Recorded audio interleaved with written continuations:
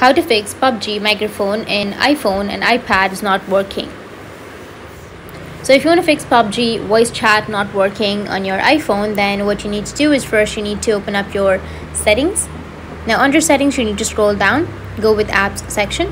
Under apps, you need to scroll all the way down and you need to find PUBG. So for example, in my case, I don't have PUBG, so I'll just simply go with an example app, which is like uh, Snapchat.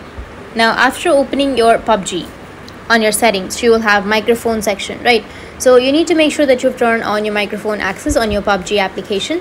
After turning on your microphone access you need to again open up your settings. Now after opening your settings you need to scroll down and you need to go with screen time. Under that you will have see all app and web activity or under restrictions you will have content and privacy restrictions. Tap on it and then scroll down tap on microphone. And under your microphone you need to scroll down and find your PUBG application and make sure that you allow your microphone to your PUBG application. After allowing that your problem will be fixed. So that's it. And if you have any questions feel free to comment below. Thanks for watching